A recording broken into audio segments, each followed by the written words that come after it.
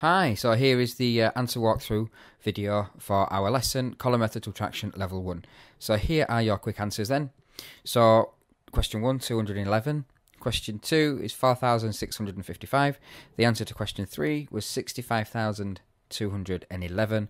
And then question 4 is uh, the answer to that is 211. So if you've got those right, good job. Um, move on to column method subtraction level 2 and I'll see you there. Uh, if you've kind of made a mistake and you just want to see where you've gone wrong, stick around. I'm just going to quickly go through these four questions for you now. Okay then, so I, decide, I guess you're sticking around. So here is uh, number one. So thing we've got to remember is we line up our columns in place value and we also start with our first number. And if you remember, this is the thing that's really important about um, column method subtraction is that you've got to write down the columns and write down the numbers in the order that you see them in the question. So if we start with 321 and then we're going to take away from that 110 and if you notice I've lined up my numbers in place value. Then we're going to draw the lines underneath and then we'll just do the subtraction as usual taking each column in turn. So 1 subtract 0, well that just gives, me a 1. 2 subtract 1 is 1 and then 3 subtract 1 that gives me 2. So as you can see, the answer for the first one there is going to be 211. Question number 2, same idea, write out the numbers, making sure to line them up in terms of place value. So 4,956, subtract 301, draw your lines. 6 subtract 1, well that gives me 5. 5 subtract 0, again that just gives me 5. 9 subtract 3 is 6.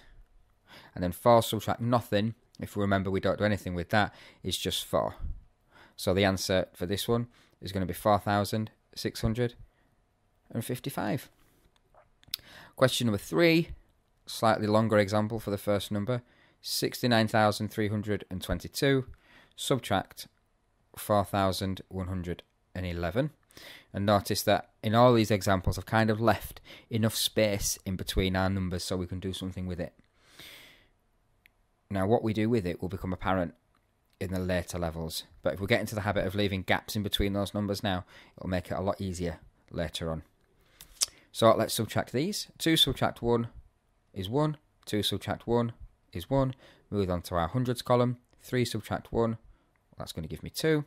9 subtract 4 is 5, and then 6 subtract nothing is just 6. And so the answer to question 3 is 65,211. And you can either put a little comma, a comma in there if you want. You don't have to. Some people do. It just makes it easier to read. And then moving on to question 4. 4, 9, 3, 2, 1. Subtract 49,110 draw our lines in. Right, and then 1 subtract nothing, well, that's going to give me 1. 2 subtract 1 is 1. Hundreds column, 3 subtract 1 gives me 2.